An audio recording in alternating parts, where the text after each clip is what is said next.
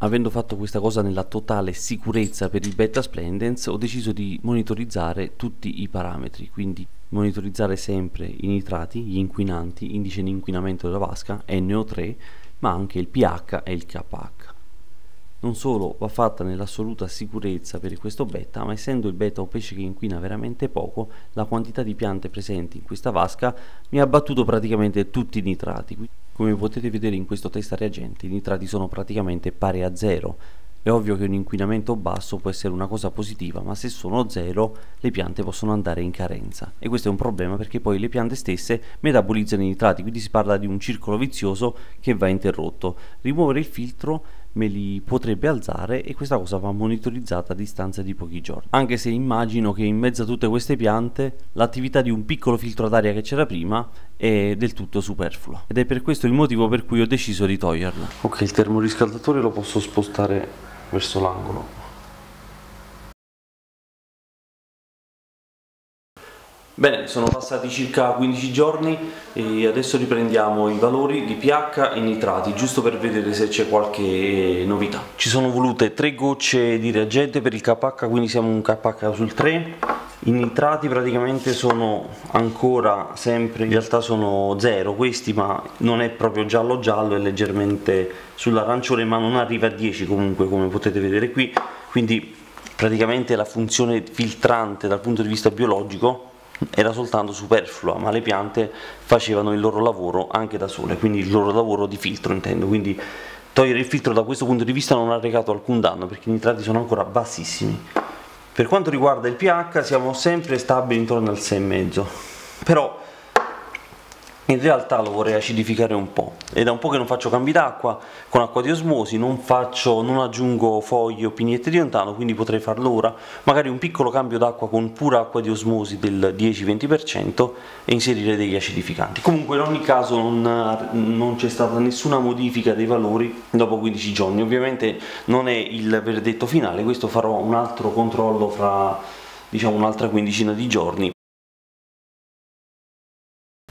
Bene amici, allora pass sono passati esattamente 30 giorni, circa un mese e vabbè il betta è vivace, sta bene e ho aggiunto qualche piantina che ora vi faccio vedere. Vabbè, praticamente ho rimesso la pistia, ora ve la faccio vedere e come vedete qui ho incrementato la quantità di piante assorbitrici di nitrati. La pistia secondo me è proprio per eccellenza quella che dovrebbe assorbire più inquinanti in assoluto qualche spaziettino qui come vedete c'è sempre per permettere al beta di respirare.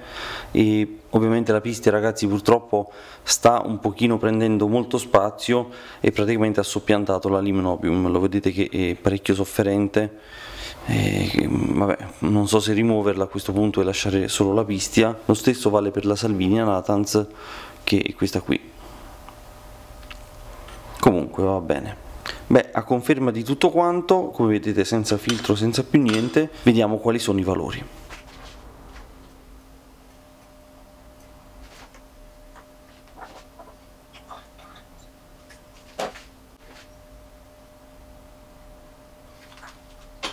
Ok, aspettiamo 5 minuti e confrontiamo il risultato. Però già, già si vede che praticamente sono, è giallo, quindi sono nitrati bassissimi figuriamoci io mi devo preoccupare della carenza di nitrati più che dell'eccesso quindi sicuramente il filtro in questo caso ha un ruolo assolutamente secondario. Non è più una cosa essenziale in questo sistema è una cosa superflua. A questo punto prendo anche un pH per finire il test completamente.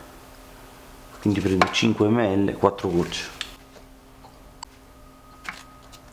Bene, chiaramente 6,5 come potete vedere quindi tendenzialmente acido proprio come me l'aspettavo. Il K in, KH intorno al 4 5 credo sia intorno al 4 e pH 6,5 quindi assolutamente perfetto. Devo un attimo pulire il vetro anteriore perché eh, si sono formate delle piccole alghette quelle dei vetri praticamente quindi devo un attimino dargli una spazzolata.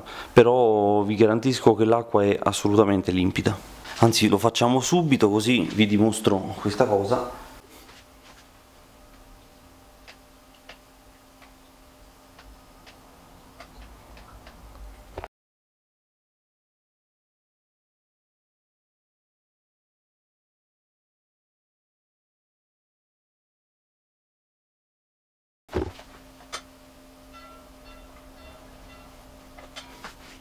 ecco qui. Guardate ora com'è limpido a parte c'è un po' di riflessi però ci sono un po' di riflessi però ora è tutta un'altra cosa vedete?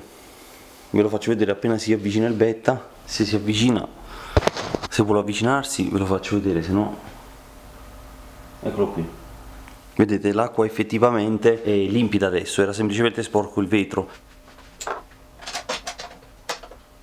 Allora, questa è la mia raccolta personale di acqua piovana, sono 4 taniche da 30 litri, tutta acqua piovana direttamente raccolta dal cielo, quindi già filtrata soprattutto, quindi acqua perfettamente pulita a KH che rasenta lo 0 e un pH diciamo neutro acido. In ogni caso il KH mi interessa che è praticamente 0, così come il GH siamo intorno tra i 0 e il 1, ho misurato i valori, quindi eh, sono praticamente 30 litri l'una, sono 120 litri più questa da 10, sono 120 litri di acqua praticamente praticamente di osmosi. Cerco di risparmiare anche sul consumo di acqua in questo senso, quindi raccogliendo la pioggia quando possibile. Cerco di evitare la raccolta dalle grondaie, quindi acqua che passa da um, tubature o zone che possono contenere catrame, sostanze così, e semplicemente dell'acqua raccolta nei mesi e nei mesi. Visto che i cambi d'acqua sono pochissimi, come vi ho spiegato ne faccio nemmeno uno al mese, del 20%, quest'acqua qui mi basta per anche 6-7 mesi. Quindi questo è il mio metodo di raccolta adatta per pesci dalle esigenze particolari come il betta e i gurami, questi qui che vogliono acque tenere acide. Per tutto il resto invece che sono le caridine, tranquillamente oppure per guppi se li avete o pesci di acqua tendenzialmente neutro basica potete usare tranquillamente l'acqua del rubinetto magari misurate la vostra acqua del rubinetto perché non è uguale in tutta Italia. Dalle mie parti è abbastanza tenera tenera per modo di dire. Stiamo parlando di un KH intorno al 10-12 quindi comunque è dura è dura anche troppo dura per figuriamoci per un betta. In ogni caso per le caridine c'è un po' di evaporazione quindi un aumento delle durezze inevitabile dopo un tot di mesi. Quindi vi consiglio ogni tanto di fare un piccolo rabocco con acqua di osmosi per riabbassare le durezze perché magari dopo 10-11 cambi d'acqua del 10-20% abbiamo inevitabilmente con l'evaporazione un aumento delle durezze. Quindi vi consiglio ogni tanto di usare un pochettino di acqua di osmosi o l'acqua piovana che vi ho detto